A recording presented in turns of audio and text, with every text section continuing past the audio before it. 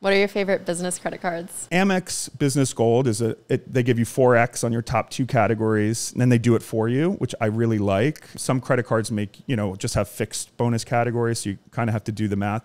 Chase Ink is been a no-brainer for years. They, you know, uh, all the different bo- bonus categories. So those are like the top two business cards we use. And plus those are, or the Amex card is a charge card. So when we spend sometimes 50,000 in a week, it's nice to have that spend capability. But when I sold the points guy years ago, part of the deal was you still need to let me put all of my expenses on my credit cards, not a, not a corporate card that, you know, wouldn't earn points. Cause I'm like, this is, and still it's the number one way. We don't take free flights from airlines and hotels in general at the Points Guy. Very few circumstances. We generate all of these points through our advertising spend and then use that for our editorial team to do reviews.